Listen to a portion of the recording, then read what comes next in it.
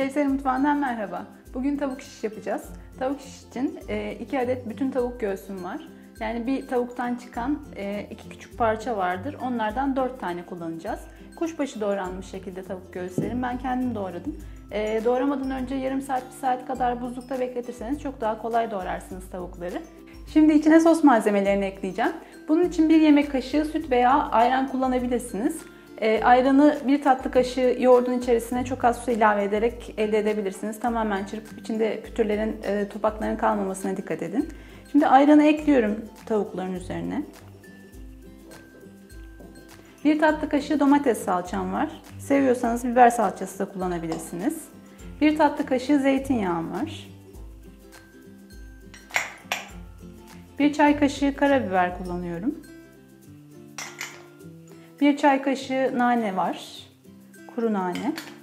Bir çay kaşığı kekik ve bir çay kaşığı tuzum var. Bu malzemeleri siz damak zevkinize göre değiştirebilirsiniz. Baharatları özellikle. Sevdiğiniz baharatları ekleyebilir. Burada sevmedikleriniz varsa çıkarabilirsiniz. Şimdi güzelce harmanlayacağım ben tüm malzemeyi. Sosun tavuklara tamamen bulandığından emin olmak için elle yapıyoruz özellikle. Bu şekilde sos tavukların içine daha güzel işleyecek ve lezzetini arttıracaktır. Tavuklarımız sosa güzelce bulandı. Şimdi tamamen çekmesi için sosu buzdolabına kaldıracağım. Bir yarım saat, bir saat kadar dinlendireceğim. Güzelce dinlenen ve sosunu çeken tavuklarımızı şimdi şişlere dizeceğiz. Bugün ben size iki farklı pişirme yöntemi göstereceğim. Biri fırında, diğeri de tavada. Öncelikle fırında yapacaklarımızı hazırlayarak başlıyorum. Böyle kenarlarından boşluklar bırakıyorum şişlerin. Ve ardından dibine alüminyum folyo serdiğim bir tepsinin kenarlarına koyuyorum şişi. Böylece tavuklar yere ve alüminyum folyoya temas etmiyorlar. Fırında pişireceğim şişler hazır. Fırınımı 200 derecede ısıtmıştım önceden. Şimdi fırına veriyorum tepsimi. Üzerleri kızarana kadar pişireceğim. Bu sırada şişe dizmeye devam ediyorum. Çünkü tavada yapacaklarımı hazırlayacağım. Ee, tavam o kadar geniş olmadığı için öncelikle şişin boyunu tavaya ölçeceğim. Ve şu şekilde artan kısmı kesip e, şişimi küçülttüm. Tavada kızartacağım şişlerim de hazır. Öncelikle tavaya 1-2 yemek kaşığı sıvı yağ alıyorum.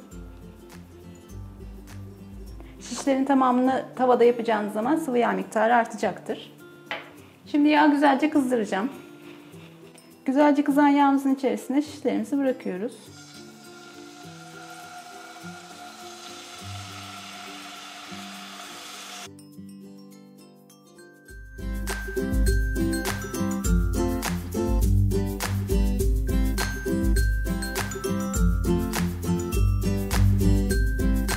Tavuk şişleri sık sık çevirerek dört bir yanı güzelce kızarana kadar pişirdim. Şimdi altını kapatıyorum ve servis tabağına alıyorum.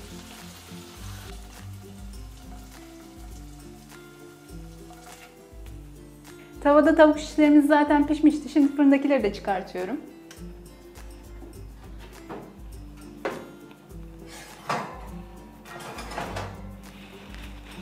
Mis gibi kokuyor. Gördüğünüz gibi onlar da nar gibi kızarmışlar. Suyunu alta salmışlar. İki farklı yöntemle pişirmiş olduğumuz tavuk şişlerimiz hazır. Umarım tarif hoşunuza gitmiştir. Eğer tarifi beğendiyseniz aşağıda yer alan beğen tuşuna basmayı unutmayın lütfen. Kevser'i Mutfağı YouTube kanalına buraya ya da aşağıda yer alan logoya tıklayarak abone olabilir ve yeni tariflerden hemen haberdar olabilirsiniz. Yeni tariflerde görüşmek üzere.